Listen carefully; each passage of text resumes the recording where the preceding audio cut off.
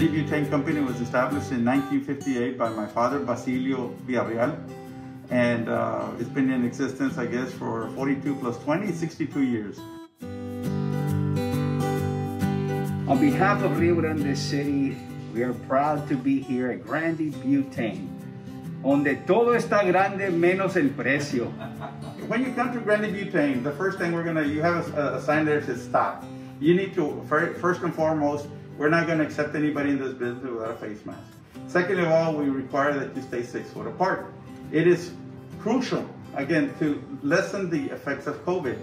Uh, and we, as a business, provide hand sanitizers, we provide masks, we provide whatever it is, but it is essential that our society here in Starr County, we try and do what's best to try and find fight this ugly disease. And I am glad as a mayor that we have businesses that do care for their customers, for the community at large, and are going above and beyond the minimum standards set forth by the state. Let me uh, thank all the uh, all my customers for bearing with us uh, as far as this COVID-19 and, and observing all the rules and regulations.